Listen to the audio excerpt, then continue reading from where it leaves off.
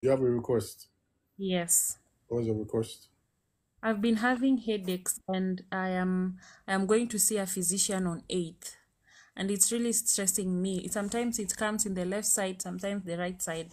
Every time, every day I have those headaches and I'm tired of it since I was since I was in university. That's like 5 6 years ago. So for six years, you didn't go to your hospital. I've been going, they've just been telling me it's normal headache, but then recently I went and I was told maybe it's migraine. So I was told to go and see a physician. For six years, I don't understand. For six years, you went to the hospital.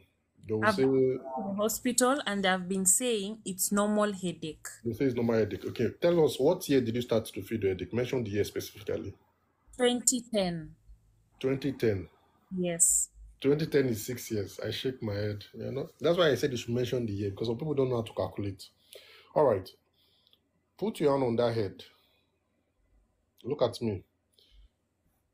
Let your hand be on the spot, the exact spot where you feel the headache.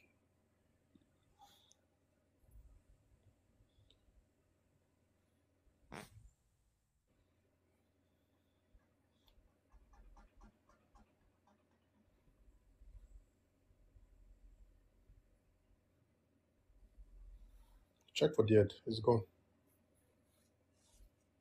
Check your head. Walk around. Check.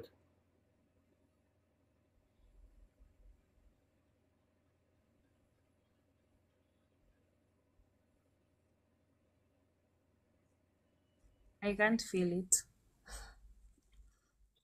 You cannot feel the headache anymore since hmm. 2010. 2010. Yes. All right. All listen. Listen. So when I was moving my hand like this, did you feel any sensation? Did you feel any energy, vibration when I was moving my hand like this? I was just feeling like a pull in this eye. You were feeling a pull when I was doing my hand like this. Energy. All right. Congratulations. Thank you.